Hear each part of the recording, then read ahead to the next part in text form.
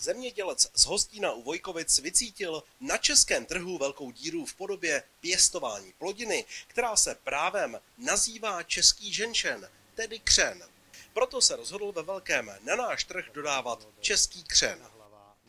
Jsou eh, hlášené pole na Elpisu, eh, kdo pěstuje křen eh, a z toho jsme vyšli, kolik tak může být reálná, reálná úroda a nikdo to tady u nás nedělá. Těch pokusů velkých firm bylo několik, všichni vlastně dopadli zlé, nikomu se to nepodařilo, takže my vycházíme z toho, co máme dílčí znalosti od řetězců, kolik prodají, s tím, co se vypěstuje, tím jsme se dostali na toto číslo 95%. Na začátku byl samozřejmě pokus o magnický křen, což se nám nepodařilo, tak teď jsme se vydali cestou pokusů a omylů. A vlastně po pěti letech nějaký práce, tak jsme vlastně se dostali k tomu, že budeme sázet a jdeme do plný produkce.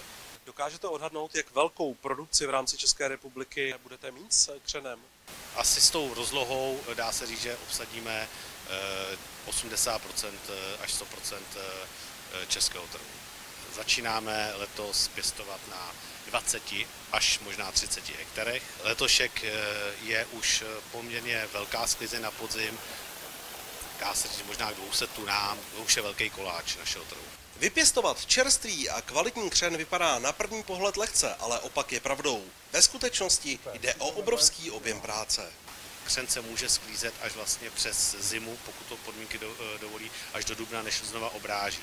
Hlavní část eh, rostliny křenu, což je ten kořen nejsilnější, se dává konzumentům a zbylá část, která eh, jsou kořeny, ty slouží opět jakoby sadba do další úrody sklizně. Křen musíte podrít hluboko, můžete být až 60 cm, abyste získal sadební kořeny. Zná délku křenu plus sadbové kořeny, to musíte vyndat.